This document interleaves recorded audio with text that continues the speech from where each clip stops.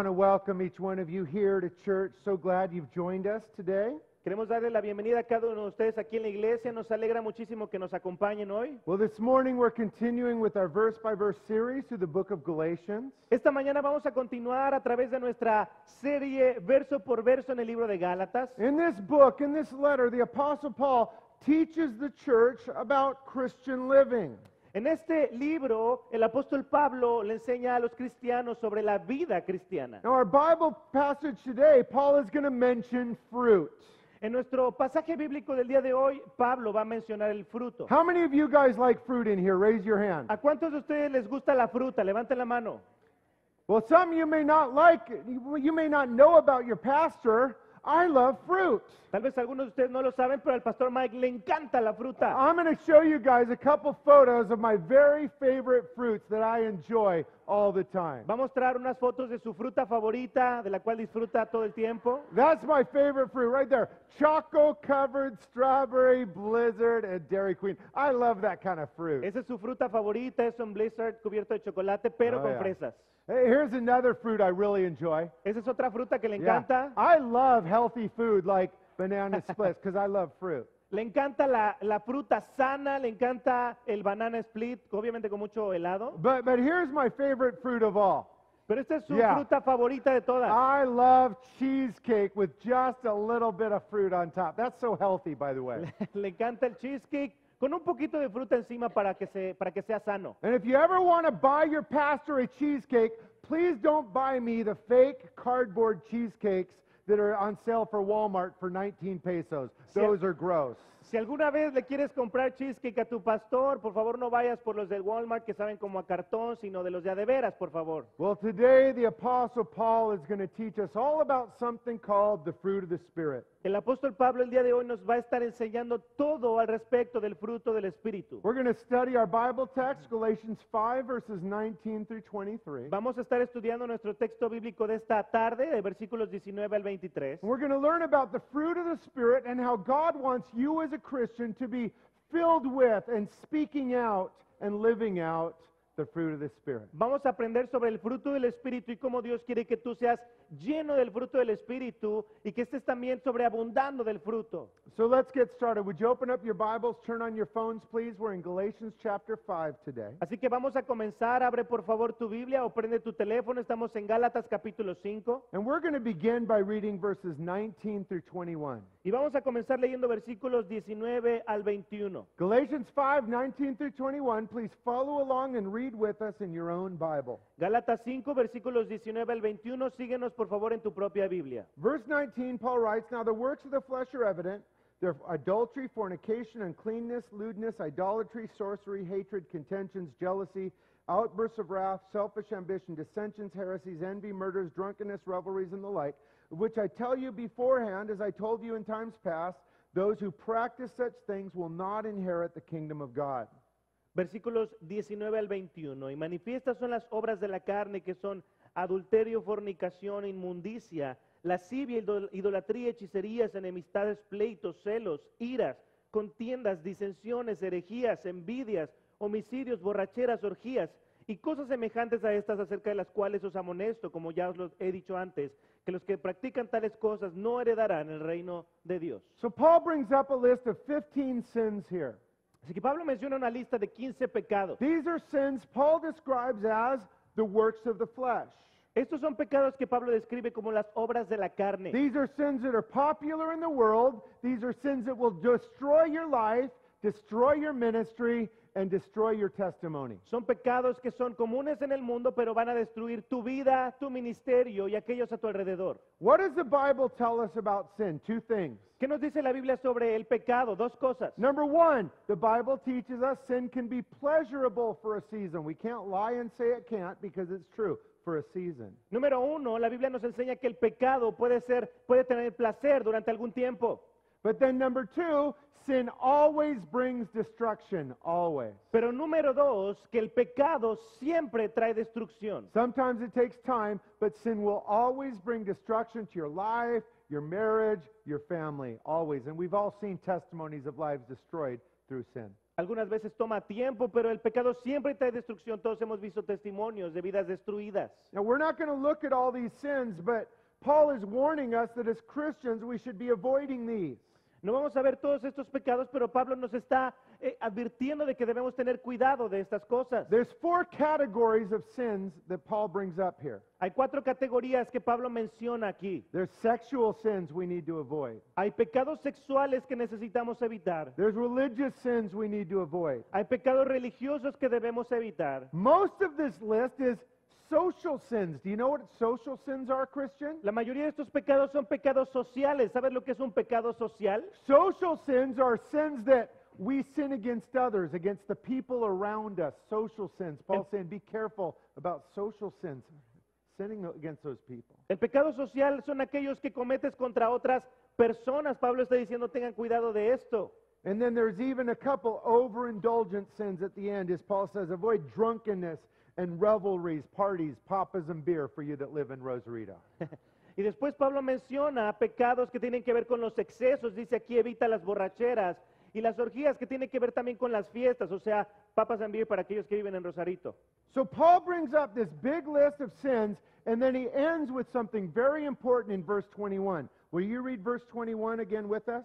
Así que Pablo menciona toda esta lista y después menciona algo súper importante en el versículo 21. Vamos a leerlo. Middle of verse 21, Paul says, Which I tell you beforehand, as I told you in times past, here it is, those that practice such things will not inherit the kingdom of God. Versículo 21, cosas semejantes a estas acerca de las cuales os amonesto, como ya os los he dicho antes, y aquí está, que los que practican tales cosas no heredarán el reino de Dios. If you're taking notes, underline that phrase in your Bible. Those who practice such things will not inherit the kingdom of God. That's the whole key to this list. Si tú tomas notas, subraya esta parte en tu Biblia que dice, los que practican tales cosas.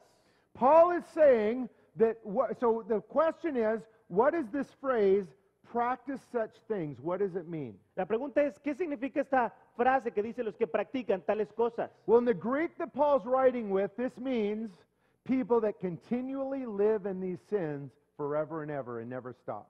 En el griego original que escribió Pablo, esto quiere decir personas que continúan en pecado una y otra vez. People that live in these sins continuously their entire life, never stopping, cannot be born again. That's what Paul's saying. Personas que continúan en el pecado toda su vida sin parar. Eso es lo que está diciendo Pablo. Now, let me tell you why. Déjame decirte por qué. There's two things that a person must do to be born again. What are they? Hay dos cosas que una persona debe hacer para nacer de nuevo. ¿Qué son? Two things a person must do. Yell it out. I need to know you guys know what we're talking about. Dos cosas. Dilo fuerte. Two things. Say two. Di dos. Dos cosas.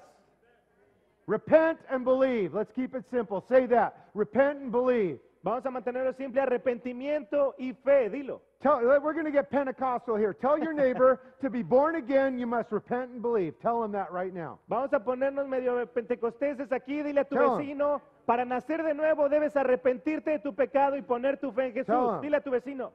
Tell him. Those are the two things. That's it. Son esas dos cosas. Eso es todo. Jesus did all the work. A person must repent and believe to be born again.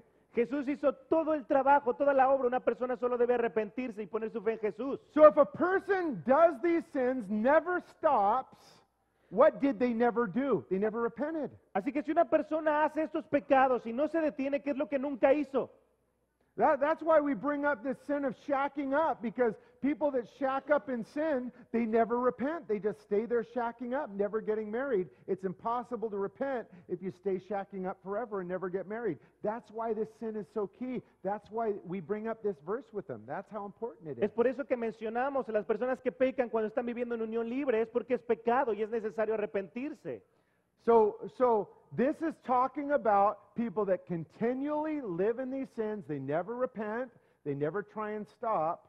They're not born again. Así que esto se está refiriendo a personas que continúan viviendo en su pecado, que no se detienen, que continúan. Let me tell you who this is not talking about. Déjame decirte de quién no está hablando. This is not talking about Christians that struggle in these sins and sometimes do them and we repent and we apologize and we don't want to do it. We fight fight it through. It's not talking about that. Esto no está hablando de cristianos que batallan con algún pecado, que caen y se arrepienten, que piden perdón. Now, Satan will tempt you in these areas. Ahora, Satanás va a tentarte en estas áreas. Satan wants you to become un- ineffective as a Christian. Satan wants you to have a crummy marriage that's a bad witness to the world, so he will tempt you in these sins. Satanás quiere tentarte en esto, quiere que no seas efectivo como cristiano, quiere que tengas un pésimo matrimonio, así que va a tentarte con estas cosas. So, how can we as Christians overcome these types of sins? Así que, ¿cómo es que como cristiano puedes evitar estas cosas? Well, we talked about it last weekend. It's by fighting hard in the spiritual battle that's inside of us. That's how we find victory. Lo, lo platicamos la semana pasada, es a través de la batalla espiritual, peleando duro. Victory's available, but we got to fight hard the inner spiritual battle that's going on. And let me bring you up a, a couple verses we talked about last week that describe this spiritual victory.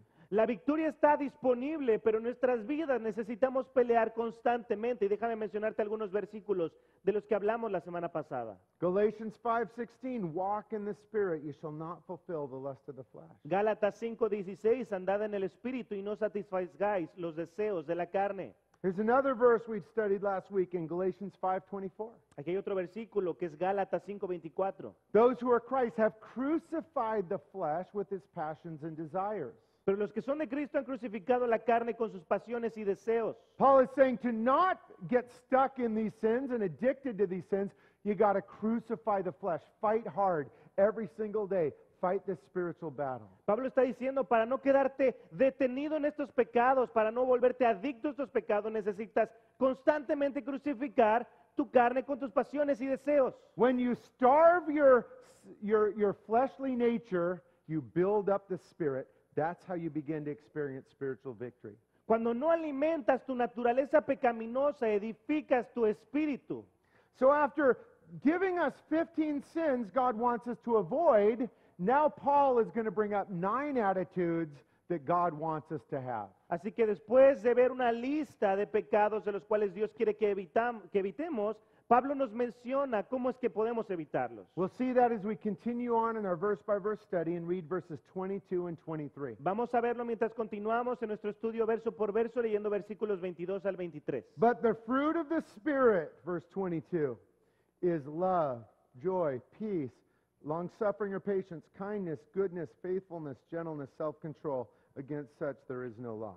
Mas el fruto del Espíritu es amor, gozo, paz, paciencia, benignidad, bondad, fe, mansedumbre y templanza. Contra tales cosas no hay ley. So here the Bible brings up the fruit of the Spirit. Así que aquí la Biblia menciona el fruto del Espíritu. Christian, God wants you to be fruity Cristiano, Dios quiere que seas fructífero. in a godly way, of course. De una manera piadosa, Yeah, look at those guys. Míralos. Man, those are handsome fruits. I don't know what it's about those guys. Those are handsome fruits right there. parecen unas frutas muy guapas al pastor. God wants you to be filled with the fruit of the Spirit. Dios quiere que estemos llenos del fruto del Espíritu. Do you know the Bible talks a lot about fruit? ¿Sabes que la Biblia habla mucho sobre el fruto? You Bible students, could you tell me a verse right now that talks about the importance of fruit in the Bible? Do you know one? Estudiantes de la Biblia, ¿me puedes decir un versículo que recuerdes que habla sobre, la, sobre el fruto? Muy importante. You know, Jesus talked a lot about fruit. Jesús habló mucho sobre el fruto. Listen to what Jesus said about fruit, Matthew 7 16. Mira lo que dice Jesús en Mateo 7, 16. Jesus said, You'll know Christians by their fruit, by the way they talk, by the way they live, by their actions. Jesús aquí está diciendo, van a conocer a los cristianos por sus frutos, por su manera de hablar, por su manera de actuar, por su manera de vivir. Let me ask you this when non Christians see the way you live out there in the world during the week, do they know, wow, this person belongs to Jesus? They're different than the rest of my friends. Déjame hacerte una pregunta. Cuando aquellas personas eh, que no conocen a Cristo te ven allá afuera en el mundo actuar, ellos pueden decir, wow, esta persona vive diferente a los demás. Listen to what Jesus said about fruit over in John 15 5. Mira lo que Jesús dijo sobre el fruto en Juan 15, 5. Jesus said, I am the vine, believers, you are the branches. If a man remains in me and I in him, he will bear much fruit, but apart from me, you can do nothing. Jesús dijo, yo soy la vid y ustedes son las ramas. El que permanece en mí como yo en él dará mucho fruto. Separados de mí, no pueden ustedes hacer nada. So, according to Jesus, it's, it's his will that you bear much spiritual fruit in your life. Así que de acuerdo con Jesús es su voluntad que tú des mucho fruto en tu vida. According to Jesus, these, this fruit of the Spirit should be pouring out of your mouth and, and, and out of your behaviors and actions. De acuerdo con Jesús, este fruto del Espíritu debe estar sobreabundando en tus acciones, de tu boca, en tu manera de comportarte. So let me ask you a question Is that happening in your life? Así que déjame hacerte una pregunta. ¿Acaso está pasando eso en tu vida? Are you bearing much fruit? ¿Estás dando mucho fruto? Well, if you were married to the person I'm married to, you wouldn't be bearing any fruit either. Es que si estuvieras casado con la persona que me casé, tampoco estarías dando mucho fruto. What does Jesus say the key is? ¿Cuál es la clave que nos menciona Jesús? Having a perfect life, having no problems, is that the key to bearing fruit? ¿Tener una vida perfecta o no tener problemas? ¿Esa es la clave para dar mucho fruto? No, Jesus doesn't bring that up. No, Jesús no menciona eso. Is the key being treated perfectly by everyone around me and my spouse? Is that the key that Jesus says? ¿Acaso la clave es ser tratado perfectamente por todos a mi alrededor? ¿Esa es la clave que Jesús nos menciona? No, Jesus doesn't bring that up. You, you have no control over that. No, Jesús no menciona eso porque no tienes control de esas cosas. Jesus says the key for you to bear fruit is doing one thing abiding, remaining, fellowshipping with Jesus. Jesús dijo, para dar mucho fruto, la clave es, como dice ahí, permanecer, tener comunión con Jesús. If you will do that, Jesus says, naturally you'll bear much fruit. If you're not doing that, there's going to be a problem and you're not bearing much fruit. Si tú haces eso, naturalmente Jesús dice, vas a dar mucho fruto. Si no haces esas cosas, no vas a dar fruto. What is the fruit of the Spirit? ¿Qué es el fruto del Espíritu? If I called you up on the stage right now, handed you a mic, and say, please tell the church what the fruit of the Spirit is, could you tell me very simply, give us a simple definition? Si te llamáramos ahorita aquí al podio y te diéramos un micrófono preguntándote qué es el fruto del Espíritu, ¿podrías dar una definición simple? If you can't do that, I need you to write this down. Every Christian should know what the fruit of the Spirit is. Here's two simple definitions. We'll read them together. Si no has podido pensar en una definición simple de lo que es el fruto del Espíritu, por favor, apunta lo que está en la pantalla. Ahí hay dos definiciones sencillas de lo que el fruto del Espíritu es. Fruit of the Spirit, number one, they are nine visible attributes of a true Christian life. El fruto del Espíritu es, número uno, nueve atributos visibles de una verdadera vida en Cristo. Here's a second similar definition. Fruit of the Spirit, number two, the attitudes exhibited by a spirit filled Christian. Hay otra definición, número dos, son actitudes exhibidas por un cristiano lleno del Espíritu. So these are visible attributes. They're, they're act, attitudes exhibited by someone filled with the Spirit and living the way God wants them. These nine things. Así que son atributos visibles, actitudes exhibidas de alguien que está lleno del Espíritu. Let's take a look at these nine attitudes and attributes. Vamos a ver estas nueve actitudes y atributos. Would you read it again, verses 22 and 23? Vamos a leerlo juntos, versículos 22 y 23. The fruit of the Spirit is love, joy, peace, patience, kindness, goodness, faithfulness, gentleness, self control. El fruto del Espíritu es amor, gozo, paz, paciencia, benignidad, bondad, fe, mansedumbre y templanza. First of all, let me remind you where the fruit of the Spirit is revealed. Primero que nada, déjame decirte dónde es que se revela el fruto del It's Espíritu. revealed 100% in your relationships with others, has nothing to do with your relationship with God. Se revela el 100% de las veces en cómo te relacionas con otros, no con tu relación con Dios. 100% of this fruit of the Spirit will be exhibited in your relationships with others, your spouse first, kids, and beyond that. 100% it relates to your relationships with others. 0% how, how you relate to God. Todo este fruto se va a mostrar en tu relación con otros, cómo te relacionas con los demás, con tu cónyuge, con tus hijos, tu familia. No se, eh, no se muestra en tu relación con Dios. It's easy to love God. You know why? Es fácil amar a Dios, ¿sabes por qué? Because God's perfect. Porque Dios es perfecto. It's easy to love perfect people, but there's a problem. Es fácil amar gente perfecta, pero hay un problema. None of the people around you are perfect. Ninguna de las personas a tu alrededor es perfecta. So, see, the spirit filled believer is able to overcome difficulties, respond to trials with these nine godly attributes. Así que un creyente lleno del Espíritu es capaz de responder a todas las situaciones o circunstancias de la vida con estos nueve atributos. Let's look at this list of nine together. Vamos a ver esta lista de nueve juntos. Paul begins by bringing up the most important of all love. Pablo comienza mencionando el más importante, que es el amor. This list begins with love because all the other fruit mentioned really is just an outgrowth of love. Pablo comienza mencionando el amor porque todos los demás son ramificaciones del amor. The word love that Paul uses here is the Greek word agape. Do you remember the definition, what that word means? La palabra que Pablo está usando aquí para amor es agape. ¿Recuerdas lo que esa palabra significa? Agape love is unconditional love. That means it loves the people around them unconditionally. Doesn't matter how they treat me. It doesn't matter if they're rude to me. I love them unconditionally. There's no conditions on my love. That's it. El amor agape es aquel que es incondicional. Es un amor que tú das a otros sin importar cómo respondan ellos contigo si te tratan mal, porque tú lo estás dando incondicionalmente, sin condiciones. This is how God loves you. This is how God wants you to love others. Esta es la manera como Dios te ama a ti y como Dios quiere que tú ames a otros. Next up, we find joy. Siguiente, encontramos gozo. Joy can be defined as contentment based on the unchanging love and promises of God. El gozo puede Joy. ser definido como un contentamiento basado en el amor que no cambia de Dios. Are you able to have joy even when your life's falling apart? ¿Eres capaz de tener gozo aun cuando tu vida está en pedazos? It reminds me of the story of the little girl that came up to her mom. Mom, are you mad? ¿Le recuerda al pastor la historia de una niña chiquita que se acerca a su mamá y le dice, mamá, ¿estás enojada? No, I'm not f- mad. Why do you ask, son? Y le dice, y le dice, no, no estoy enojada, ¿por qué preguntas? I'm happy, son. Why do you ask? Si estoy feliz, ¿por qué preguntas? Well, mom, if you're happy, you forgot to tell your face. Le dices que si estás feliz se te olvidó decirle a tu cara, Joy. gozo. Next up, we have peace. Siguiente, tenemos paz.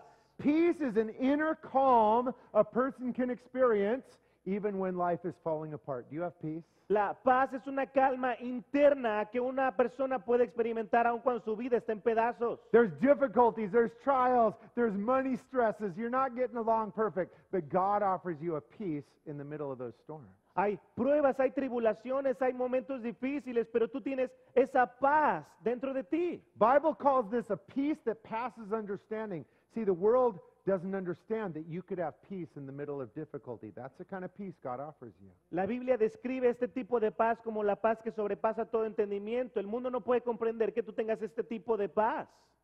Fourth part of the fruit of the spirit, spirit is uh, patience. La cuarta parte es la paciencia. The men in our church are famous Los varones de la iglesia son famosos for not being patient. por no ser pacientes. And husbands, God gave you someone to help you grow in your patience. It's called your wife. Y esposos, Dios te dio a alguien para crecer en tu paciencia y se llama tu esposa. I have the best wife in the world, and she's here, so I got to be careful. but every once in a while, she's a little bit late. El pastor dice que tiene la mejor esposa del mundo, pero a veces, solo a veces, ella se le hace tarde. And so sometimes I'm looking at my watch, and now I'm going to be late. Así que solo a veces el pastor mira su reloj y dice, se me va a hacer tarde. So I try and do something. Así que él trata de hacer algo. I try and walk in her room, and there she is looking so beautiful in front of the mirror. And I say this Is there anything I can help you with, my love? Así que entonces el pastor se acerca a ella mientras ella se mira en el espejo y le pregunta, ¿hay algo en lo que te pueda ayudar? And, and victory, when she tells me no and goes back to her makeup, is me walking quietly out. Y cuando ella le responde no, él simplemente sale silenciosamente. Do I have it figured out yet? ¿Acaso ya sabe cómo hacerlo todo? I guess you can ask Sarah, but I'll just tell you no, no. le I pueden don't. preguntar a su esposa, pero él te puede decir que no. Patience. Paciencia. Reacting to the difficulties of life calmly, not freaking out, not pressuring people. Patience. Reaccionar en las dificultades de la vida sin acelerarte, con paciencia, con calma. Next up is kindness. What's kindness? La siguiente es benignidad. ¿Qué es benignidad? A kind Christian is sensitive and has concern for the feelings and needs of others. Kindness. Un cristiano benigno es aquel que es sensible y que responde a las necesidades y sentimientos de otras personas. Next up is goodness. La siguiente es bondad. Christians filled with goodness are seeking to do what is good in the lives of others. Goodness. Cristianos llenos de bondad son aquellos que buscan hacer lo bueno en la vida de otros. Next up, we have faith, better translated, faithfulness. La siguiente es fe o también traducido como fidelidad. Faithfulness or trustworthy people. La fidelidad son aquellas personas en quienes puedes confiar. Jesus calls them this. He's all, their yes is their yes, their no is their no. You're trustworthy, they're faithful. Jesús les llama de la siguiente manera, son aquellos que tienen una respuesta y que su respuesta es sí o no. You know why we're having our ministry fair next weekend here ¿Sabes? at our church? Que vamos a tener nuestra feria de ministerio el próximo fin de semana aquí en la iglesia. Because we need more faithful Christians here. Y es porque necesitamos más cristianos fieles. We have a few Christians that serve in three or four or five ministries, and we have a bunch of Christians that aren't serving at all. Tenemos algunos cristianos que son fieles, pero sirven en uno, dos, tres o cuatro ministerios. Y tenemos otros cristianos que no son fieles para nada. One of our key values as a church is serve. We want to serve each other here at the church. Are you doing that? Uno de los valores clave de aquí de la iglesia es que para tu crecimiento espiritual es necesario que sirvas. ¿Estás sirviendo en la iglesia? If you're not, would you pray this week about God, would you help me serve? Would you help me be faithful? Si no lo estás haciendo, por favor, ora esta semana para que Dios te muestre cómo ser fiel, que te muestre el lugar en donde puedes comenzar a See, servir. the first thing we're going to ask you when you come up to the table is we're going to thank you, and then we're going to say, Do you show up to church every weekend?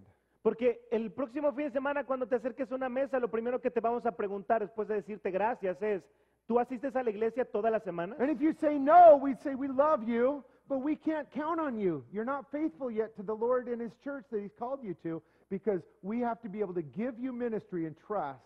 Something very basic, but a lot don't do it. You just show up every week here to grow with us. Y si tú dices no, entonces te vamos a decir, sabes qué, gracias, pero necesitas crecer en este tema de la fidelidad, porque no podemos confiar en ti si no eres capaz de asistir a la iglesia todas las semanas. We need more faithful Christians that we can count on, not only to show up every weekend, but serve every weekend. Would each one of you please pray this week about if God wants you to be one of those people, and then come next week ready to sign up and commit? Please do that. We need you. We need you. Necesitamos cristianos fieles que asistan a la iglesia cada semana, pero que también se comprometan a servir cada semana. Así que te invitamos a que ores esta semana sobre lo que Dios puede revelarte el próximo fin de semana. And semana. I love you guys, and we ask you to do it because it's one of the greatest privileges you could ever do, serving every week in your local church, serving your brothers and sisters. Y les amamos y la razón por la que el pastor lo está mencionando es porque es uno de los mayores privilegios que puedes tener el servir en el ministerio que Dios te da.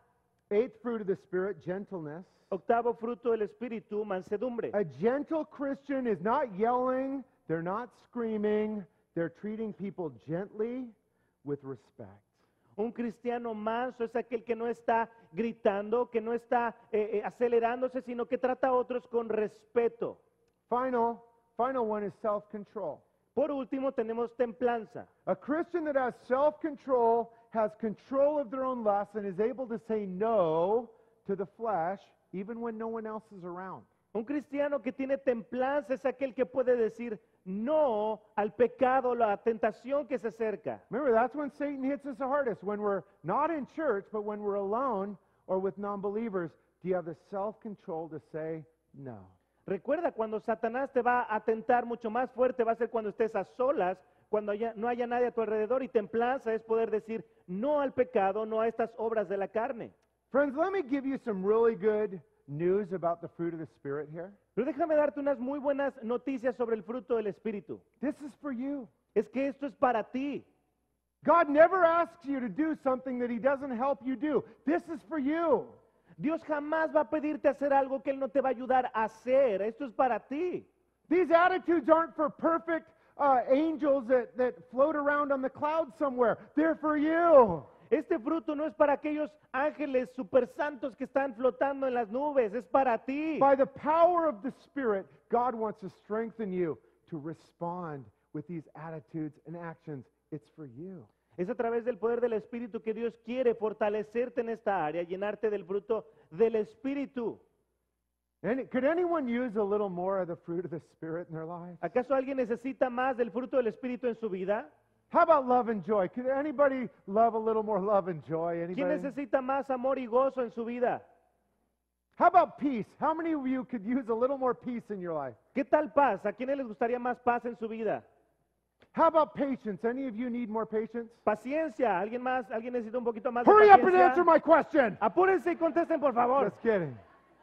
Yeah. Goodness, gentleness, self control, all of it. Benignidad, bondad, fe, mansedumbre, templanza, todos. Remember, these are designed to bless and strengthen the people around you. Recuerda, estos están diseñados para bendecir y fortalecer a aquellos a tu alrededor. These have nothing to do with your love for God. That's easy. They have everything to do with the difficult nitty gritty of life and marriage and relationships. Esto no tiene nada que ver con tu amor por Dios. Amar a Dios es sencillo. Eh, esto tiene que ver con aquellas personas a tu alrededor. Mm. So, how can we grow in this? ¿Cómo podemos crecer en esto? How can we respond in these nine amazing attitudes and behaviors? How? ¿Cómo podemos responder en estas nueve eh, actitudes o atributos? ¿Cómo? Well, Paul makes it really clear, Ephesians 5:18. Pablo lo deja súper claro en Efesios 5:18. Be filled with the Spirit. Sed llenos del Espíritu. Let me add this. Crucify the flesh, be filled with the Spirit. We talked about it last week. Déjame agregar esto. Crucifica la carne y sé lleno del Espíritu. This is a daily thing, guys. Esto es algo para todos los días. Daily, God wants to crucify our sinful nature. As we do that, we'll be able to say no to that list of 15 sins Paul brings up. Diario Dios quiere crucificar nuestra naturaleza pecaminosa y de esa manera que puedas decir no a esos pecados. And then the more we're filled with the Spirit, the more and more this nine amazing fruits will be coming out of our mouth and our, our actions in our lives. Y a medida que seas lleno del Espíritu, todos estos nueve atributos van a empezar a sobreabundar en tu vida. So as we finish up here today, I'm going to give you a little tiny bit of homework. Así que al terminar en esta porción el día de hoy, te vamos a dar una pequeña tarea. You guys love homework, right? A todos ustedes les encanta la tarea, ¿verdad? Remember, I'm still, uh, I'm still thinking that when I give you homework, you actually do it. Remember that. El pastor Remember todavía that. piensa que cuando te deja tarea, tú de hecho sí lo haces. So, so tell me, uh, just help me continue with my fantasy and say, I love homework. Así que ayúdale a continuar con su fantasía y dile, me encanta la tarea. Okay, good. It continues. Ok, It continues. Here's what we're going to do. Aquí esto es lo que vamos a hacer. I want you to read over the fruit of the Spirit, verses 22 and 23. Queremos que leas versículos 22 y 23 del fruto del Espíritu. I want you to pick out one, just one, that you need to work on the most this week. Y que elijas de esos atributos uno, solo uno en el que necesites, que quieras trabajar esta semana. And write it down, put it in your phone, memorize it. Apúntalo, escríbelo en tu teléfono, memorízatelo. I'm going to give you a minute to do that. All of you in your own Bible, read over that list of the fruit of the Spirit, pick out one, write it down, get it in your mind Te vamos a dar un minuto, léelo en tu Biblia, lee esta lista de los atributos del fruto del Espíritu y elige uno. If your friend doesn't have a Bible, show him yours and share together. Pick out one. Everybody picks out one. Si tienes a alguien que no trae Biblia, ayúdale y compártele tu Biblia para que lo pueda leer.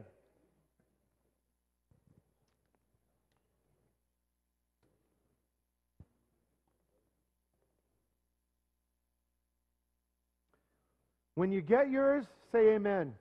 Cuando ya tengas el tuyo, di amén. Okay, good. Good. Good. Okay, we've all picked out one.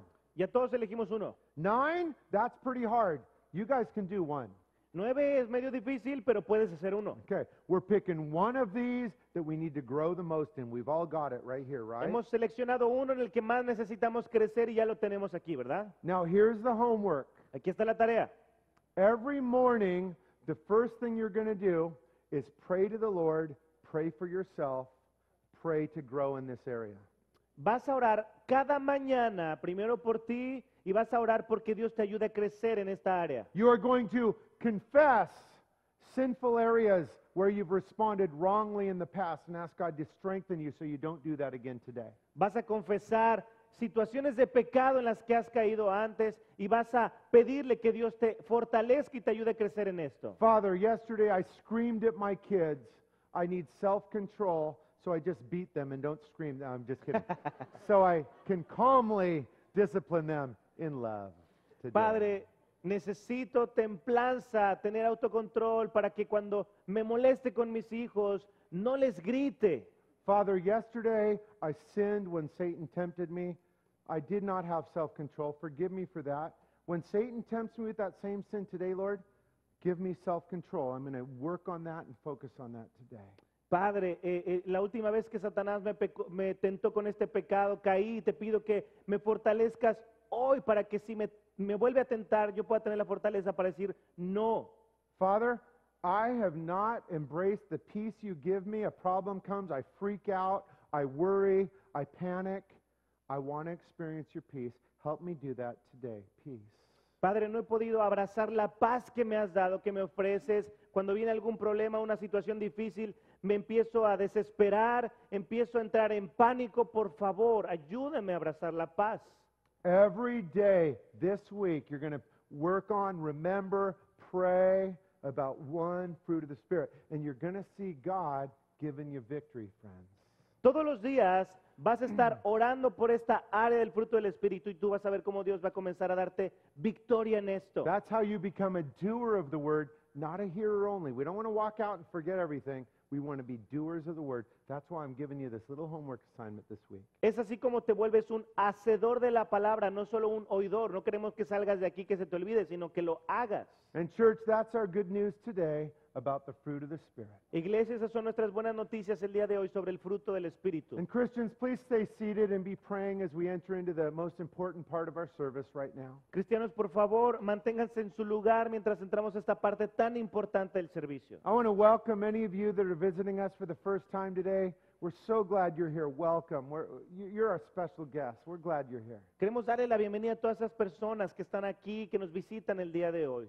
But I have an important question for you. It's here on the screens. If you'd read, with, read it with us, please. Pero hay una pregunta muy importante que queremos hacerte. La puedes leer en las pantallas. The question is Are you born again? La pregunta es, ¿eres tú nacido de nuevo? That's actually the most important question anyone will answer in their lives because Jesus said, Unless you're born again, you cannot see the kingdom of God. You don't get to heaven.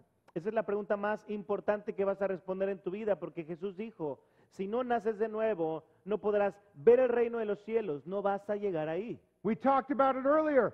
Do you remember how a person can be born again? They got to do two things. Remember them? Estuvimos platicando sobre eso hoy. ¿Recuerdas? Hay dos cosas que hay que hacer para nacer de nuevo. They must repent of their sins and believe, place their faith in Jesus. Es necesario arrepentirte de tus pecados y poner tu fe en Jesús. Jesus did all the work.